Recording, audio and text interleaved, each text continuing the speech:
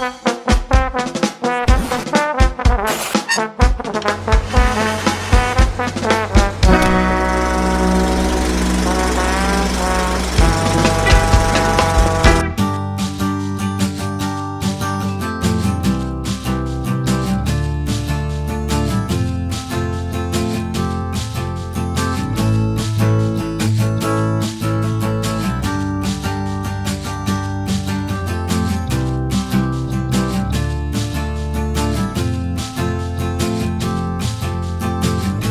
I saw uh, in my own eyes when I come here uh, that the Basque people is really, really uh, warm people, and uh, everything.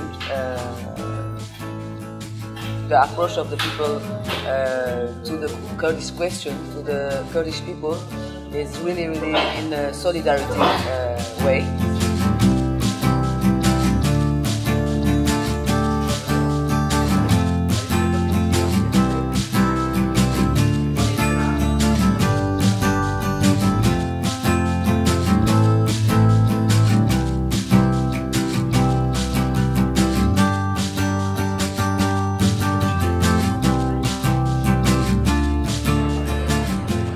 Dut, ba, e, oso aberazgarria dela guretako beste lekuetan egiten diren borroken e, informazioa jasotzea. Euskal Herrian ere bai, ba, gauza asko aplikatu barra ditugulak, ez?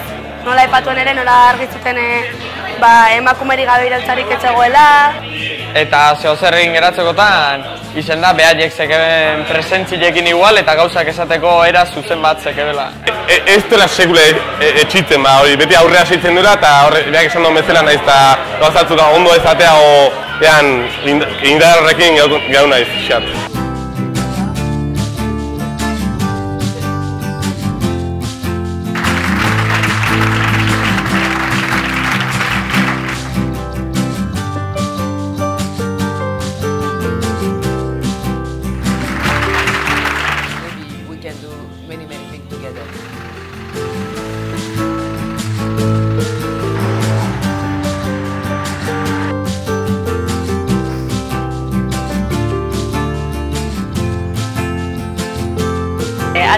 Afarian esan ziguten esaldi batekin geratuko ginateke. E, askotan asko zailagoa dela e, feminismoa borrokatzea gure kideekin, ez edo gure, gure borrokaren parte diren hoiekin, e, ba, sistemaren edo txaiaren e, kontra baino.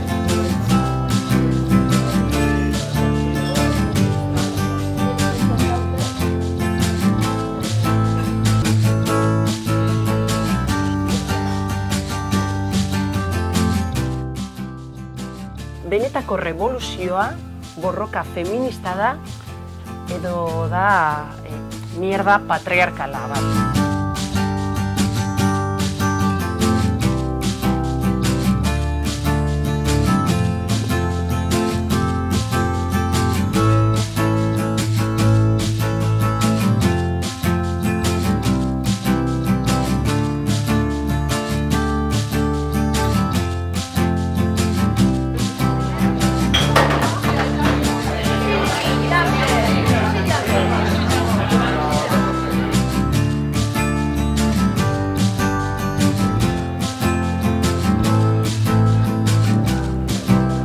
E, niri benetan kurosoa irutxe azte, eta holako egoeratan ikusten den benetan herrizen arteko, herri zapalduen arteko internazionalismoak zelako injarra deko.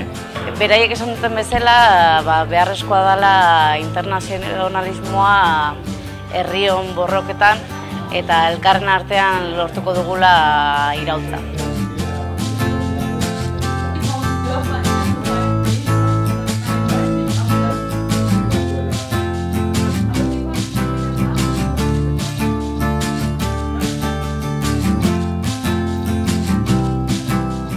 Esaten zuen, emakume kurduak ez dute izan nahi, eska adoretsuak, fusil bat hartza dihoaztenak ez, esaten zuen, gure herria bada herri adoretsu bat bada, asko borroka induna.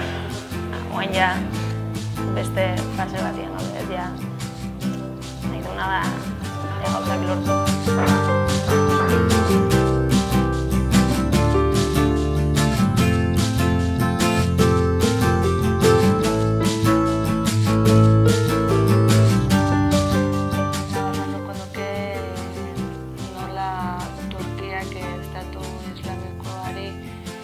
ateak zabaldu egin dizion nola bait e, eh, zurduen kontra e, joateko.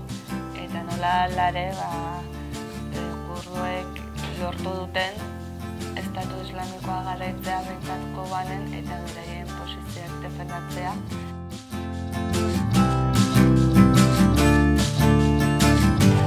Ba, oso ez dakit, flipante bezala edo irutu zaitez, berrogei urtetan emakume baten presentzia zeukitzea ez da inune, eta bat batean, baita batzorde txiki bateako ere, behar beharrezko izatea, gizonezko baten presentzia dagoen leku guztietan emakume bat izatea, ez. Aurrera pauso importantea, bueno, gu indik ere urruti gaude hortatik, eta irutu zait, hori, radikala izatea eskatzen zuen, eta iruditzen zait bidea hori dela ez. Radikalizatu behar dela pixka bat emakumeen presentzia eta ziurtatu behar dela. Äh, ich habe einen sehr großen Unterschied gesehen 2009, als ich nach Bilbao kam. Äh, habe ich auch über dieselben Themen, über den demokratischen Konföderalismus und die Entwicklung der kurdischen Frauenbewegung berichtet. Natürlich war das für die Leute, das habe ich auch immer in den Seminaren gesagt, war für die Leute wie eine Utopie und die Leute Sie wussten natürlich, es gibt Kurdistan, es gibt die äh, Bewegung, die kurdische Freiheitsbewegung und die Frauenbewegung, die sehr stark äh, organisiert ist. Aber so ein Projekt in der Praxis einzusetzen, hörte sich an wie eine Utopie. Und heute war ich hier, nach fünf Jahren wieder, habe ich erzählt, dass dieses Projekt in der Praxis jetzt äh, funktioniert und dass die kurdische Bevölkerung mitten im Krieg, im Kriegszustand ihr eigenes System aufgebaut haben. Egual irudi horrekin gelditu gara ez da, ISISei aurre egiteko gai izan den mugimendu bat dela. Baina itzalde honen bidez eta pixa bat gehiago zagutuz konturatze, konturatzen geha transfondo askoz ere handigoa daukala eta mugimendua hori baino askoz ere gehiago dela. Nola erakutsi dugun bizitzeko, ekiteko eta borrakatzeko beste modu batzuk ezagutzen ditugun eta zaparte beste modu batzuk existitzen direla. Eta, bueno, ba, itzalditik ateratzen zean sentxazioa edo da e, satisfakzioa, pixka bat olako eta baita ere ba, gurean jartuteko gogoi karagarria.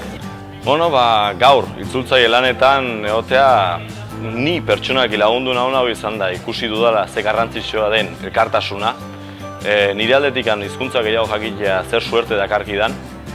Eta era horretan e, beste herrialdei laguntzea eta seguraski etorkizunan espero dudan gure herrialdeari ere horriek lakuntza e, ondia ekarriko diola espero dut.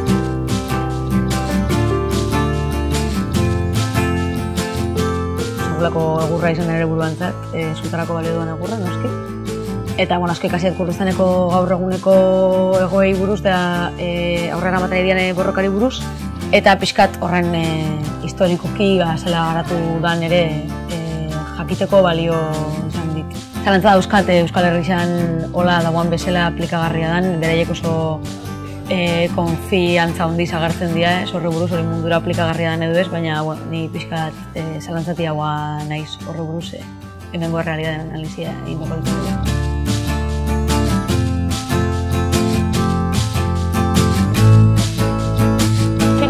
gelernt. Ich habe auch bei den, nach den Seminaren, bei den Diskussionen, die wir durchgeführt haben, so persönliche Diskussionen mit jungen Menschen, die eigentlich die Idee haben, was für ein Land sie möchten oder äh, in welchen Bedingungen, wie soll eine demokratische Gesellschaft aufgebaut werden, mit welcher Perspektive.